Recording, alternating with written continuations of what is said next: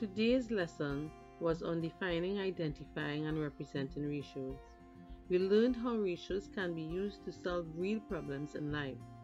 We first had to understand the problem and think of possible ways of solving it. We discussed the possible solutions and their feasibility. We made conclusions based on the little information we had and justified these conclusions. There was a great amount of discussion about the logic of the arguments presented. At first, I felt I was doing just mathematics, counting things. Then I no longer felt like a student. I felt I was doing something very important by making predictions and inferences.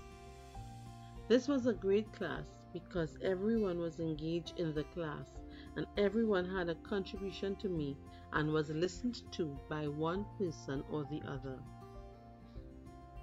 This class was a success because of the group activity. We had opportunities to reflect on what we were learning and we were solving real problems that scientists are faced with.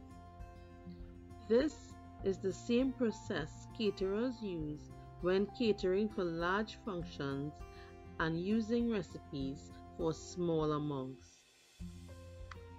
Learning is more meaningful when we stop and think about what we are learning and we are solving real life problems. I will try to think about my learning for all my subjects.